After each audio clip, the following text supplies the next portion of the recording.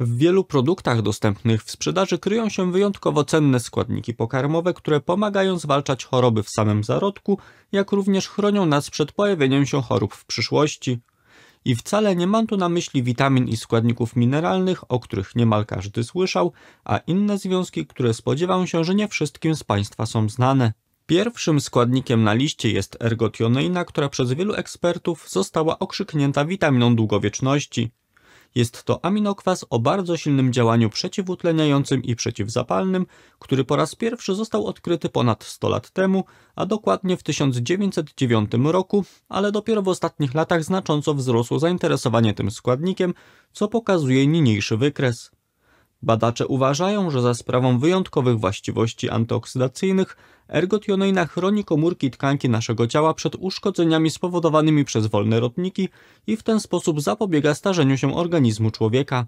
Co ciekawe, eksperci wskazują, że ergotioneina ma o wiele więcej zalet niż inne dobrze nam znane przeciwutleniacze, tak jak np. witamina C i glutation. Przede wszystkim ma ona lepszą zdolność do gromadzenia się w tkankach i wolniej ulega rozkładowi niż inne związki przeciwutleniające, przez co może dłużej i skuteczniej działać. Dla przykładu, doświadczenia przeprowadzone na zwierzętach pokazały, że ergotioneina hamuje powstawanie blaszek amyloidowych oraz zmniejsza stres oksydacyjny w mózgu. I na podstawie uzyskanych wyników badacze uważają, że składnik ten może zapobiegać chorobie Alzheimera, czyli chorobie, która jest ściśle powiązana z procesem starzenia się. Jeśli chodzi zaś o produkty spożywcze, w których znajdują się wysokie ilości ergotioneiny, to mowa tu głównie o kilku wybranych gatunkach grzybów. Najwięcej tego składnika mamy w boczniaku ostrygowatym, pieczarce dwuzarodnikowej, pieprzniku jadalnym, czyli kurce, borowiku szlachetnym, maślaku zwyczajnym, opieńce miodowej, twardniku japońskim, czyli shiitake i w gąsówce fioletowawej.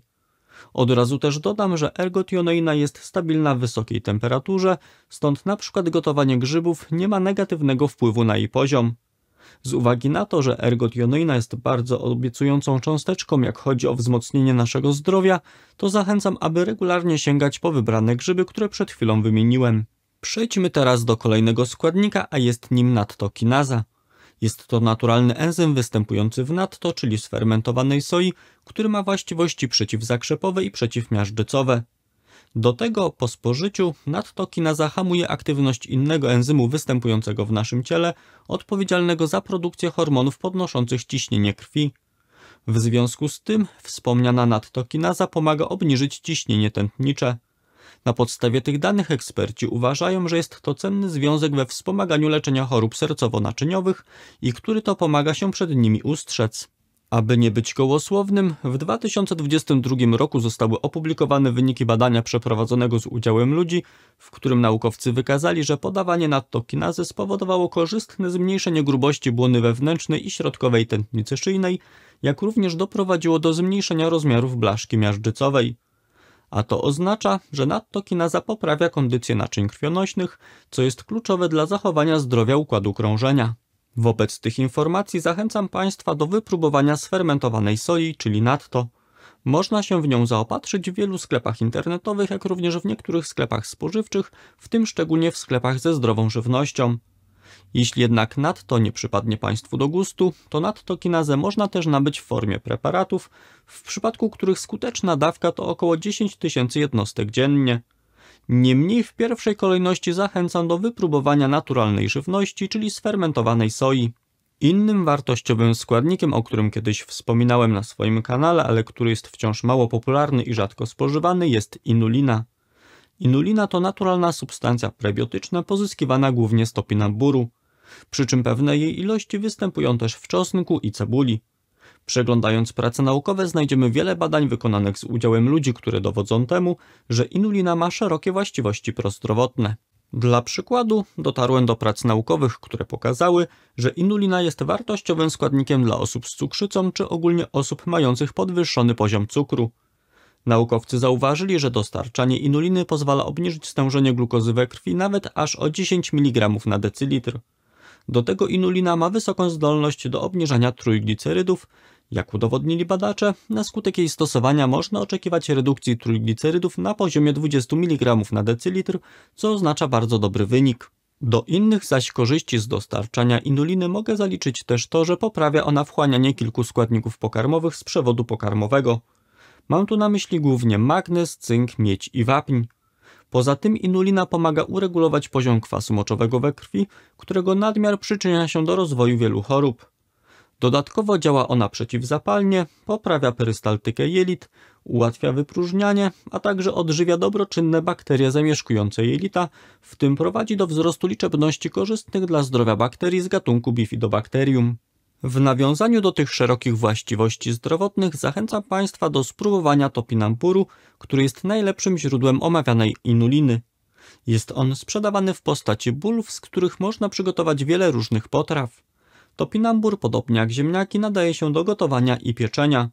Można przygotować z niego pire z duszoną wołowiną, można też sporządzić z niego frytki, placki, zupę krem i wiele innych cennych dań. Samą zaś inulinę można nabyć w postaci proszku, który stosuje się w ilości od 1 do 3 łyżeczek dziennie i który to z uwagi na dobrą rozpuszczalność w wodzie i neutralny smak można dodawać np. do herbaty, kawy, soków, jogurtów, zup, a także do owsianki, lodów czy budyniu. Tutaj pozwolę sobie przypomnieć, że jeśli ktoś z Państwa zechciałby przyczynić się do tego, aby nasza społeczność na kanale się rozwijała, to można kliknąć przycisk subskrybuj pod filmem i dzwoneczek. Jeśli moje filmy są dla Państwa przydatne, to dzięki subskrypcji kanału jest też mniejsza szansa, że ominą Państwa moje nowe nagrania. Wysoce prozdrowotnym składnikiem w diecie człowieka jest również sulforafan. W literaturze fachowej możemy spotkać się z opinią, że jest to jeden z najsilniejszych naturalnych związków przeciwnowotworowych. To, co jest w nim wyjątkowego, to to, że ma on zdolność do hamowania procesu nowotworzenia na wszystkich trzech etapach kancerogenezy, czyli inicjacji, promocji i progresji.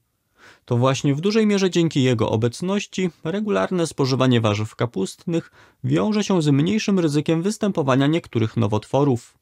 Przeprowadzone badania pokazały, że osoby, które często sięgają po warzywa bogate w sulforafan, cechują się mniejszym ryzykiem rozwoju raka nerki o 27%, raka trzustki o 22%, raka pęcherza moczowego o 20%, raka żołądka o 19% i raka jelita grubego o 18%. Poza tym warzywa bogate w sulforafan mogą nas też w pewnym stopniu uchronić przed rakiem piersi, jajników i prostaty. Przy okazji dodam też, że sulforafan jest substancją o bardzo silnych właściwościach przeciwzapalnych, wobec czego jest on pomocny dla osób, które mają podwyższony poziom substancji prozapalnych, takich jak np. CRP i zmagają się z chorobami o podłożu zapalnym. Tak jak wspominałem, sulforafan znajduje się w warzywach kapustnych. Niemniej muszę podkreślić, że jego największe ilości znajdują się w kiełkach brokułu i w surowych, dobrze pokrojonych brokułach. Dlatego też jeśli komuś z Państwa zależy na dostarczaniu znacznej porcji sulforafanu, to do jadłospisu warto włączyć któryś z tych dwóch produktów. Kolejnym prozdrowotnym związkiem, któremu również warto poświęcić trochę uwagi jest kwas chlorogenowy. Jest to składnik z grupy kwasów fenolowych, który to z kolei może poszczycić się działaniem hipotensyjnym, czyli obniżającym ciśnienie krwi. Obszerna analiza badań naukowych z 2015 roku pokazała, że dostarczanie wysokich ilości kwasu chlorogenowego pozwala obniżyć zarówno skurczowe, jak i rozkurczowe ciśnienie krwi średnio aż o 4 mm co oznacza bardzo dobrą skuteczność działania. Tu jako ciekawostkę powiem, że stosunkowo dużo kwasu chlorogenowego zawiera zwykła kawa i to właśnie dzięki obecności tego składnika nie podnosi ona długotrwale ciśnienia krwi i nie powoduje nadciśnienia tętniczego pomimo znajdującej się w niej kofeinie. Jeśli chodzi jeszcze o korzyści zdrowotne z dostarczania kwasu chlorogenowego, to dotarłem do dwóch badań naukowych, które wykazały, że związek ten poprawia nasze funkcje poznawcze, czyli w uproszczeniu można powiedzieć, że poprawia on sprawność umysłową. Z kolei w doświadczeniu wykonanym na zwierzętach jego autorzy zauważyli, że kwas chlorogenowy przyczynił się do poprawy pamięci badanych osobników. Mimo, że kwas chlorogenowy można nabyć w formie suplementów diety, to przede wszystkim warto wiedzieć, że można go też dostarczyć z naturalnych produktów. A jego najlepszym źródłem pokarmowym jest zielona kawa. Poza tym mniejsze ilości kwasu chlorogenowego znajdują się też w karczochu, bakłażanie, ziarnach słonecznika, gorczycy, a także w selerze. Jeśli chcemy wzmocnić swoje zdrowie, to warto też sięgać po produkty, które zawierają w składzie luteolinę. Przy czym zwracam uwagę, aby nie pomylić luteoliny, o której za chwilę powiem, z luteiną, czyli składnikiem z grupy karotenoidów, który jest znany ze swojego korzystnego wpływu na narząd wzroku. Luteolina to z kolei związek z grupy flawonoidów, który odznacza się silnymi właściwościami przeciwzapalnymi i który to jednocześnie ma właściwości neuroprotekcyjne, czyli działa ochronnie na komórki nerwowe, za sprawą czego może spowalniać rozwój chorób neurodegeneracyjnych postępujący wraz z wiekiem. Ponadto dotarłem do polskiej publikacji naukowej, w której jej autorzy piszą, że luteolina wykazuje też działanie przeciwnowotworowe i jest obiecującą substancją wspomagającą leczenie chemioterapeutyczne. Co ciekawe, w jednym z najnowszych badań, którego wyniki zostały opublikowane w marcu 2023 roku, badacze zauważyli, że osoby z cukrzycą typu drugiego, które dostarczają wysokie ilości luteoliny wraz z dietą, cechują się mniejszą śmiertelnością, w tym rzadziej umierają przedwcześnie z przyczyn sercowo-naczyniowych. Aby nasza dieta obfitowała w luteolinę, warto włączyć na stałe do jadłospisu przede wszystkim seler, a także produkty takie jak sałata, pietruszka, zielony pieprz, tymianek, rozmaryn, oregano, karczoch, rzepa, marchew, papryka, brokuły i kiwi.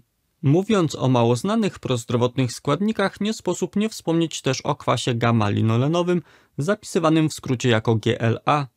Jest to jeden z kwasów tłuszczowych z rodziny omega-6, którego najważniejszą cechą jest to, że ma on silne działanie przeciwzapalne. Jak pokazuje literatura fachowa, ten fakt można z powodzeniem wykorzystać w przypadku problemów ze stawami. Dla przykładu przeprowadzone badania wskazują, że stosowanie produktów zawierających kwas gamma-linolenowy łagodzi przebieg reumatoidalnego zapalenia stawów. Jak się okazuje, kwas gamma-linolenowy może przynieść też korzyści zdrowotne osobom zmagającym się z trądzikiem różowatym. Eksperci potwierdzili, że podawanie tego składnika złagodziło przebieg choroby, w tym spowodowało zmniejszenie rumienia, jak również zwiększyło nawilżenie skóry. Na podstawie uzyskanych wyników badacze uznali, że kwas gamma-linolenowy można rozpatrywać jako wsparcie w leczeniu pacjentów z trądzikiem różowatym. W tym miejscu trzeba zaznaczyć, że w zadowalających ilościach kwas gamma-linolenowy występuje w zaledwie kilku produktach. Największe jego ilości znajdziemy w oleju z nasion wiesiołka, ogórecznika i czarnej porzeczki. Stąd jeśli ktoś z Państwa chciałby wzbogacić swoją dietę w ten składnik, to wyłącznie któryś z tych trzech produktów będzie przydatny. Tu wtrącę, że praktyczną wiedzą dzielę się również w moim darmowym newsletterze o zdrowiu, czyli porannym dzienniku zdrowia. Dziennik wysyłam od poniedziałku do piątku o 6 rano do porannej kawy lub herbaty i jest on na kilka minut czytania. Jeśli chcieliby się Państwo na niego zapisać, to zapraszam na kośnik dziennik. W dzisiejszym zestawieniu postanowiłem zamieścić również cholinę, niegdyś określaną mianem witaminy B4. Cholina to składnik wyjątkowo ważny dla naszego układu nerwowego a to dlatego, że jest ona wykorzystywana przez organizm człowieka do produkcji neuroprzekaźników takich jak acetylocholina. Prace naukowe pokazują, że niedobór choliny w naszej diecie skutkuje pojawieniem się rozdrażnienia, bezsenności i prowadzi do obniżenia sprawności umysłowej. Z kolei dostarczanie jej w odpowiednich ilościach poprawia pamięć i spowalnia pogarszanie się pamięci, które następuje wraz z wiekiem. Poza tym cholina pełni jeszcze kilka dodatkowych cennych funkcji a mianowicie chroni naszą wątrobę przed stłuszczeniem i zwłóknieniem, obniża poziom homocysteiny, której nadmiar uszkadza naczynia krwionośne, a także zmniejsza ryzyko rozwoju nowotworów i to aż o 18%. Dodatkowo naukowcy zauważyli, że zbyt niskie wysycenie ciała choliną sprzyja obniżeniu masy mięśniowej u osób starszych. W celu zapewnienia zadowalającej podaży choliny wraz z dietą z pomocą przychodzą produkty pochodzenia zwierzęcego. W cholinę szczególnie zasobne jest żółtko jaj, w jednym żółtku znajduje się aż 160 mg choliny, co oznacza, że spożywając jedną sztukę pokrywamy dobowe zapotrzebowanie na wspomniany składnik w aż 30%. Z kolei osobom, które nie spożywają żółtek, bardzo trudno jest dostarczyć odpowiednie ilości choliny. Innymi, choć mniej zasobnymi źródłami choliny są również ryby, tak jak łosoś i dorsz, a także wołowina i mięso drobiowe. Spośród zaś produktów roślinnych najwięcej choliny znajduje się w kiełkach pszenicy, migdałach, brokułach i fasoli, choć podkreślam, że są to małe ilości. Wartościowym składnikiem naszej diety są też beta-glukany. Jest to pewna frakcja rozpuszczalnego błonnika pokarmowego, która wykazuje wyjątkowe korzyści zdrowotne. Jak udowodnili badacze, beta-glukany są pomocne w obniżaniu stężenia glukozy we krwi, a więc znajdują zastosowanie u osób zmagających się z cukrzycą i insulinoopornością. Według przeprowadzonych badań pomagają one zredukować poziom cukru we krwi o około 9 mg na decylitr. Do tego przydadzą się one również osobom, które mają nieprawidłowy profil lipidowy. Mówiąc konkretnie, obniżają one stężenie lipoprotein o niskiej gęstości, czyli inaczej cholesterolu LDL, dzięki czemu przywracają równowagę pomiędzy cholesterolem HDL a LDL. Za sprawą zaś takiego działania wykazują one pewne właściwości przeciwmiażdżycowe i zmniejszają ryzyko pojawienia się chorób serca. Spośród wszystkich nam znanych produktów w beta-glukany najbardziej zasobne są płatki i otręby owsiane, płatki jęczmienne oraz grzyby. Jednym z najmniej znanych składników z dzisiejszego zestawienia, o którym również chciałbym krótko Państwu opowiedzieć, jest spermidyna. Jest to związek z grupy poliamin, któremu przypisuje się działanie wydłużające nasze życie, a mówiąc bardziej precyzyjnie, po prostu sprzyjające zachowaniu dłuższego życia. A to za sprawą jego działania przeciwzapalnego, przeciwutleniającego i usprawniającego funkcjonowanie mitochondriów, czyli organeli komórkowych, których rolą jest produkcja energii niezbędnej nam do życia. Dodatkowo spermidyna jest cząsteczką pobudzającą autofagię, czyli proces samozjadania, inaczej rozkładu starych i zużytych białek oraz struktur komórkowych obecnych w naszym ciele. Mówiąc prostszym językiem, spermidyna usprawnia oczyszczanie organizmu z niepotrzebnych substancji. Co prawda dotychczas nie wykonano zbyt wielu badań z udziałem ludzi, niemniej te przeprowadzone na zwierzętach i warunkach laboratoryjnych pokazują, że spermidyna jest również obiecującą cząsteczką hamującą rozwój nowotworów, spowalniającą starzenie się naczyń krwionośnych, a także obniżającą ciśnienie tętnicze. Na potrzeby opracowania dzisiejszego materiału udało mi się też dotrzeć do jednego badania wykonanego z udziałem ludzi, które pokazało, że dostarczanie spermidyny poprawiło pamięć u osób starszych, które zmagały się ze spadkiem funkcji poznawczych. Na podstawie tych danych, w mojej ocenie warto zainteresować się tym składnikiem i regularnie sięgać po produkty, które go zawierają. A są to przede wszystkim kiełki pszenicy, otręby ryżowe, wspomniana już dzisiaj sfermentowana soja, czyli natto, a także grzyby, kalafior, brokuły, rukola, wołowina oraz ser cheddar.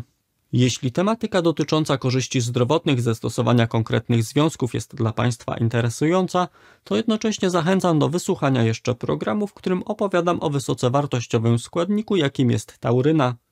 Aby dowiedzieć się o nim wartościowych informacji, wystarczy kliknąć na miniaturę, która pojawiła się na ekranie. A na dziś z mojej strony to wszystko. Dziękuję za uwagę i do zobaczenia w kolejnym odcinku.